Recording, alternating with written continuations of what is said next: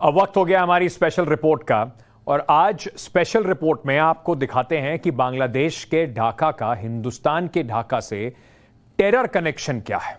Nepal border के करीब, पूर्वी चंपारण ज़िले में ढाका के एक ऐसे स्लीपर सेल का खुला हुआ है जिसमें एनआईए भी हैरान है और आपको अब दिखाते हैं कि देश में बैन आतंकी संगठन जेएमबी का स्लीपर सेल वहाँ एक्टिव कैसे हुआ।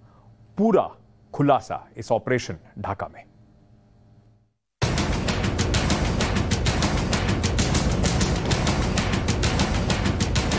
हिंदुस्तान के मदरसे में विदेशी घुसपैठ। नाम के मुफ्ती काम जिहादी। बिहार के मदरसे में आतंकी स्लीपर सेल।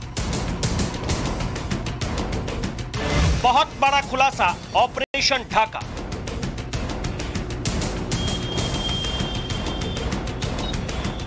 पूर्वी चंपारण के ढाका से असगर अली की गिरफ्तारी के बाद बिहार से जो स्लीपर सेल की बात थी, वो एक बार फिर से साबित हुई है। जिस तरह से असगर अली की एनआईए ने गिरफ्तारी की है, उसके बाद बिहार का सीधा कनेक्शन जेएमबी, यानी कि जो बांग्लादेशी आतंकी संगठन है, उससे सीधे जुड़ा है। अब एनआईए इस पर पूरी जाँच कर रही है और जो एनआईए के पास सबूत मिले हैं, उसके आधार पर जो यहाँ पर असगर अली है, उसने अपने लैपटॉप से कई युवाओं को मोटिवेशनल जो स्पीच है, वो दिया और युवाओं को भड़काने का काम किया। आज हम आपको बिहार के ढाका से वो ग्राउंड रिपोर्ट दिखाते हैं कि आखिर इस पूरे मामले में क्या कुछ हुआ है। नाम असगर अली। पेशा मौलवी। आरोप टेरर लिंक एक्शन गिरफ़्तार।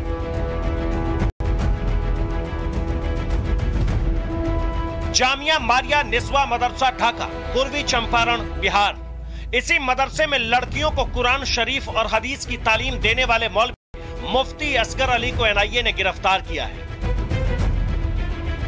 आरोप, बहुत संगीन है। असगर अली पर हिंदुस्तान के ढाका में रहकर बांग्लादेश की राजधानी, ढाका के आतंकी संगठन जमातुल मुजाहिदीन से जुड़े होने और हिंदुस्तानी मुस्लिम बच्चों, नौजवानों को ऑनलाइन ब्रेन वॉश करने के आरोप में गिरफ़्तार किया गया।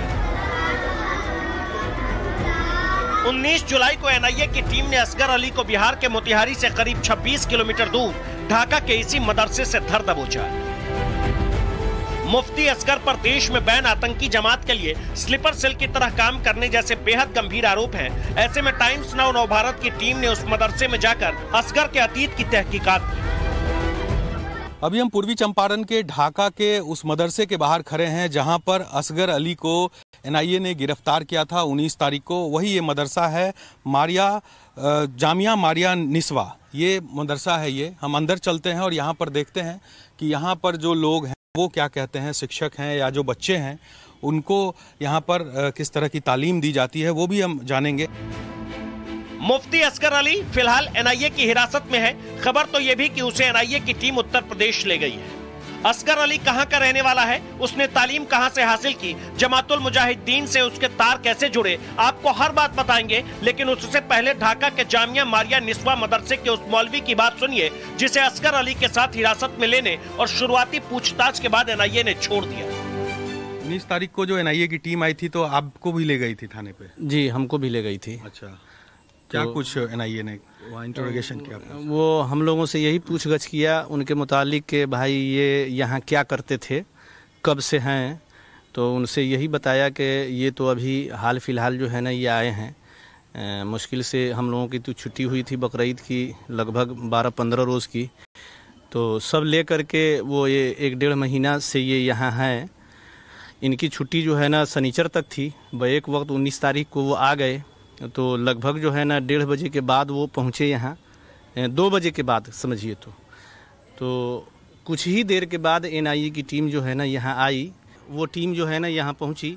पहुँचने के बाद उनको हिरासत में लिया, उनका मोबाइल वगैरह लिया। असगर अली इस मदरसे में दो महीने पहले ही आया था। वो यहाँ की मस्जिद के नायब इमाम मोहम्मद निसार के साथ रहता था। असगर जिस मस्जिद में था आपको वहाँ भी ले चलेंगे, लेकिन उससे पहले मदरसे के मौलवी ताजुद्दीन से असगर अली की कहानी सुनिए। बात के और मामला के दरमियान तो इस तरह का कुछ लगा नहीं।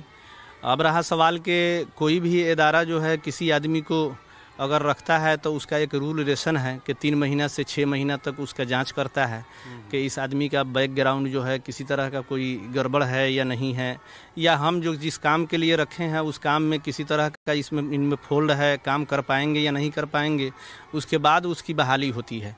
तो वो जाँच ही के दरमियान में अभी थे। उनसे कोई मिलने जुलने भी आता था क्या यहाँ? कभी ऐसा मिलने जुलने नहीं आता था। कभी नहीं। कभी नहीं आता था। और हम अकेले रहते थे नहीं वो छुट्टी के दरमियान में अब जैसे कि ग्यारह बजे तक हम लोगों का सुबह से क्लास चलता था, साढ़े छः बजे से। और ग्यारह बजे के बाद जो दो, डेढ़ दो घंटे का जो वक्फा होता है तो उसमें सब आदमी साथ में जो है ना थोड़ा रेस्ट करते थे, उसके बाद खाना खाते थे, फिर दो बजे से क्लास में लग जाते थे। फिर उसके बाद जो है ना पाँच बजे तक जो है ना छुट्टी होती थी तो सब इधर उधर चले जाते थे। लेकिन इस तरह का कोई काम उनका तो नहीं देखा। एनआईए की टीम ने मुफ्ती असगर अली से बड़ी तादाद में मजहबी किताबें जब्त करने के साथ उसके लैपटॉप को भी अपने साथ ले गई। लैपटॉप भी एक एनआईए ने लैपटॉप लिया। भी एक एनआईए ले लिया। तो लैपटॉप तो पहले से तो नहीं था वो साथ में अभी लाए थे। तो लैपटॉप में अब क्या है हम लोग तो इंग्लिश वगैरह पढ़े नहीं हैं कि उसमें क्या है नहीं है। वैसे मदरसे का एक लैपटॉप है तो हमारे यहाँ जो बच्चियों के तालीम में एक जुड़ा हुआ एक वो भी है कि उसको कुछ जो है ना कंप्यूटर का ये भी शिक्षा भी देते हैं। और पढ़ाई का जो है ना निज़ाम हम लोग बनाए हुए हैं। सुबह से 11 बजे तक का जो निज़ाम है वो मदरसे की तालीम देते हैं और दो बजे से पाँच बजे तक का जो असगर जो थे यहाँ क्या पढ़ाते थे? क्या पढ़ाई वो करते वो उर्दू अरबी पढ़ाते थे। और कुछ जो है ना हिंदी के जो है ना तीसरी चौथी के क्लास के बच्चियों को भी कुछ पढ़ाते थे। मुफ्ती असगर जिस मदरसे में दो दिन पहले तक लड़कियों को मजहबी तालीम देता था उसके अंदर का नज़ारा आज कैसा है वो भी देखिए। वो मदरसा है, जहाँ पर असगर अली पढ़ाते थे और यहीं से उनको गिरफ़्तार एनआईए की टीम ने भी की है। जैसा कि यहाँ के जो शिक्षक हैं, वो बता रहे हैं कि पिछले दो महीने से ही वो यहाँ आए थे और काफ़ी कम समय हुआ था उनको यहाँ पर पढ़ाते हुए।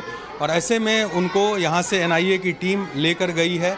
जो आरोप है उन पर, वो काफ़ी गंभीर आरोप है। बांग्लादेशी, बांग्लादेश के आतंकी संगठन से जुड़े होने का आरोप है और उसका क्या होगा, एनआईए इसकी जाँच करेगी। हमने मदरसे की लड़कियों से भी बात की पूछा कि जिस शख्स को बैन आतंकी संगठन से जुड़े होने के आरोप में गिरफ़्तार किया गया है वो उन्हें क्या पढ़ाता था कैसा इंसान था तो लड़कियों ने जो कहा उसे सुनना भी बहुत ज़रूरी है। क्या पढ़ रही है? कुरान शरीफ। कुरान शरीफ। अभी जो असगर अली थे यहाँ पर उनको जानते हो? जी। वो पढ़ाते थे? जी। अच्छा क्या पढ़ाते थे? कुरान शरीफ।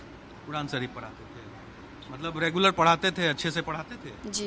अच्छा कैसे इंसान थे? तुम लोग चूँकि स्टूडेंट हो लगातार मिलते होगे कैसा लगता था उनका जी बहुत अच्छे थे वो। बहुत अच्छे थे? जी। अच्छा और क्या क्या बातें होती थी? क्या कुछ बताए थे वो?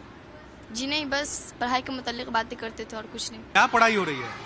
अभी तो उर्दू पढ़ रहे हैं। अच्छा उर्दू पढ़ाई हो रही है। ये जो असगर अली थे वो पढ़ाते थे? जी। अच्छा क्या पढ़ाते थे आप लोग? कभी कुरान शरीफ भी सुन लेते थे और भी बहुत अच्छे पढ़ाते थे। कभी कभी हम लोग जो भी जो पढ़ने नहीं आते पूछने जाते थे वो भी सब बताते थे बहुत अच्छे से। उनको पुलिस आगे गिरफ़्तार करके ले गई। कैसा अब लग रहा है? बहुत बुरा लग रहा है। वो तो बहुत अच्छे से पर पता नहीं आप लोग क्यों ले गए इसे पुलिस ये मदरसा रेजिडेंशियल है। यानी यहाँ पढ़ने वाली लड़कियाँ रहती भी यही हैं। लेकिन अब आतंकी गतिविधियों में शामिल होने के आरोप में यहाँ के मौलवी की गिरफ्तारी से उन लोगों के जहन में डर बैठ गया है जिनकी बेटियाँ यहाँ रहकर पढ़ाई करती है। ज़ाहिर सी बात है अब तो मालूम करने की चीज़ है। ये मदरसा में तो इस ढंग की बात नहीं होती है। ये कहाँ से कहाँ लिंक है क्या है न है। अगर ऐसा है तो बहुत अफसोसनाक बात है। तो अभी बातचीत जो उस दिन हुई थी आप लोगों को कभी ऐसा लगा कि इस तरह के मदरसे के सब कागजात वगैरह काम जो है उसके बारे में वो सब मसरूफ थे उसमें। कागज़ पत्तर बच्चे कितने दिन रहे नहीं रहे कौन बच्चा कैसे जा रहा है नहीं जा गार्जियन कौन है नहीं है वो सब रजिस्टर वगैरह मेंटेन करके हमको बच्चे रिसीव करवाए किए थे। हम लोग तो मन में थोड़ा सा लगता है कि है, कभी ज़ाहिर सी बात है। इस मदरसे के करता धरता ढाका की जामा मस्जिद के नायब इमाम मोहम्मद निसार है जो असगर अली की गिरफ्तारी के बाद से फरार है। पड़ताल के दौरान पता चला कि असगर मस्जिद के उसी कमरे में रहता था जो नायब इमाम निसार के नाम अलॉट है। ढाका का यही मस्जिद है जहाँ असगर अली रहते थे जहाँ पर एनआईए की टीम आई थी और यहाँ पर उनका कई सामान. हम हम बात कर रहे हैं आपसे। क्या कुछ था यहाँ पर असगर अली? वो ये जो है असगर अली यहाँ पर जो मिले वो जो है मुफ्ती निसार साहब के स्टाफ थे मदरसे के स्टाफ थे वो जो है मारिया निस्वा के स्टाफ। थे। वहाँ जो है वो पढ़ाते थे मुफ्ती निसार चूँकि इसमें जो है नायब इमाम थे उन्हीं के नाम पर रूम अलॉट था और वो क्यों भेजते थे मस्जिद में सोने के लिए इसका जवाब वही देंगे। कल जो है कमेटी जो है इस सारे सूर्य हाल को देखते हुए मुफ्ती निसार साहब को बर्खास्त कर दिया है। आतंकी जमात से जुड़ा मौलवी करीब दो महीने से इस मस्जिद में रह रहा था लेकिन इसकी खबर किसी को कानो कान नहीं थी। ऐसे में अब मस्जिद से जुड़े लोग भी मुफ्ती असगर को कड़ी से कड़ी सजा देने की मांग कर रहे हैं। प्रशासन के नज़र में वो अगर गुनाहगार है तो उसको कड़ी से कड़ी सज़ा मिले। इसके लिए जो है हम लोग जो है उसमें जो है कुछ जो है किसी तरह का इंटरफेयर नहीं करेंगे। और अगर वो जो है दोषी है तो उसके ऊपर जो है कार्रवाई की दिनों से थे वो यहाँ ये एक डेढ़ महीना से एक से डेढ़ महीना से। अब, अब इस मस्जिद से उन लोगों को हटा दिया गया? हाँ हटा दिया गया। साहब जो थे उनको भी हाँ, उनको भी हटा दिया है। पूर्वी चंपारण पुलिस ने भी इस बात पर मुहर लगा दी है कि असगर अली को भोपाल के जमातुल मुजाहिदीन मॉड्यूल केस में गिरफ़्तार किया गया है। एनआईए की टीम लखनऊ टीम यहाँ पर आई थी एक केस के सिलसिले में इन्वेस्टिगेट करने के लिए। उनका केस एक भोपाल का था। और उन्हें ऐसा सूचना था कि उनका एक सस्पेक्ट यहाँ ढाका थाना क्षेत्र में रह रहा है। हम लोगों ने उन्हें लीगल हेल्प प्रोवाइड करते हुए एक्यूज की अरेस्टिंग इंश्योर की। जब एक्यूज अरेस्ट हुआ तो पता चला कि वो लोकल एक मॉस्क है, उसमें एक महीने से मुफ्ती का काम कर रहा था। एनआईए की जो प्राइमा फेसी पूछताछ हुई है, उसमें ऐसा पता चला है कि वो जेएमबी मॉड्यूल का सदस्य रहा है।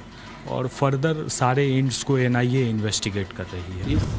नेपाल बॉर्डर के करीब जिस तरह से पहले बिहार के दरभंगा का पीएफआई कनेक्शन सामने आया और अब मोतिहारी के ढाका से जमातुल मुजाहिदीन से जुड़े मौलवी को पकड़ा गया है ये बहुत चिंताजनक है। आतंकियों का कनेक्शन बिहार से ज़रूर निकल रहा है। जितने भी आतंकवादी घटनाएँ हो रही हैं इसका मतलब है कि बिहार में स्लीपर सेल्स अच्छी संख्या में मौजूद हैं। और इस स्लीपर सेल को निश्चित तौर पे प्रशासन ब्रेक करेगा। हालाँकि बीजेपी के प्रदेश अध्यक्ष को यह नहीं भूलना चाहिए कि स्लीपर सेल को लोकल पुलिस प्रशासन ने नहीं, बल्कि देश की राष्ट्रीय जाँच एजेंसी ने ब्रेक किया है। बहरहाल, आपको उस केस के बारे में भी बता देते हैं, जिसकी जाँच का दायरा भोपाल से बिहार के ढाका तक पहुँच गया है। इसी साल मार्च में मध्य प्रदेश की राजधानी भोपाल से जेएमबी से जुड़े चार संदिग्ध आतंकियों को पकड़ा गया। चारों बांग्लादेशी नागरिक थे जो हिंदुस्तान में बांग्लादेशी आतंकी संगठन के स्लीपर सेल बनाने की फिराक में थे। भारत सरकार ने 23 मई 2019 को जमातुल मुजाहिदीन बांग्लादेश को यूएपीए कानून के तहत बैन कर दिया था। बावजूद इसके, भारत में इसकी गतिविधियाँ रुकने का नाम नहीं ले रही है। इसी महीने असम की राजधानी गुवाहाटी से जेएमबी के संदिग्ध आतंकी को गिरफ़्तार किया गया। जुलाई 2021 में कोलकाता के हरिदेवपुर इलाके से जेएमबी के तीन संदिग्ध आतंकियों को पकड़ा गया, जबकि नवंबर 2021 में एनआईए ने पश्चिम बंगाल के साउथ 24 परगना से जेएमबी के एक संदिग्ध आतंकी को गिरफ़्तार किया। अक्टूबर 2019 में तब के एनआईए प्रमुख वाईसी मोदी ने बताया कि जमातुल मुजाहिदीन बांग्लादेश पूरे भारत में पैर पसारने की साजिश में जुटा है। एनआईए ने ऐसे 125 संदिग्धों की लिस्ट भी अलग अलग राज्यों से शेयर की थी। जिहाद की फैक्ट्री जमातुल मुजाहिदीन बांग्लादेश 2018 के बोधगया ब्लास्ट समेत कई आतंकी वारदातों में शामिल रहा।